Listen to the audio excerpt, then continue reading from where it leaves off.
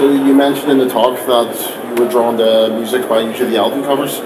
What would be your favorite album covers, and there's any way to you think that can be still used in digital age? Uh, how, you know, how do we bring back, you know, the, the, the I don't know if it's it's possible anymore. You know, the uh, the, the, the problem with um, media technology these days is the format. It's limited by by its construct, right? So, you know, it's it's it's two dimensions, and it's a square, and or maybe a you know rectangle. But um, you know, you there's back in the day you had you know albums that you could open and look around and read and, and, and get into detail. But now, you know, it's it's hard because it's one screen and there's no dimension to it. So I don't know how to crack that code. I think I think we're gonna have to start creating, uh, you know, new, more, um, you know, I think outside hardware or something, or or new. I mean, maybe if they've. Uh, I, I don't know what the answer is,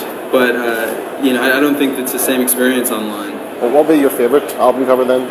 Any of the older generations? Um, Too many. never mind.